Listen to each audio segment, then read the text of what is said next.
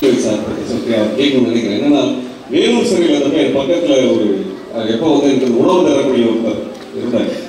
அவர் வந்து வேலூர் கேஸில் வந்திருந்தார். அவர் வந்து சொன்னார் அப்பாவோட படம் நீங்கள் நடித்த அப்பான்ற படத்தை பற்றி சொல்லிருந்தார். அந்த திரையில் வேலூர் ஜெயிலில் வந்து படம் போட்டிருந்தாங்க அப்போ அவர் சொன்னார் இந்த படம் பார்த்ததுக்கப்புறம் நிறைய மாறிட்டேன் சார் அப்படின்னு. அவர் வந்து கிராமத்துக்காக ஒரு ஒரு சிறைக்கு வந்தார்.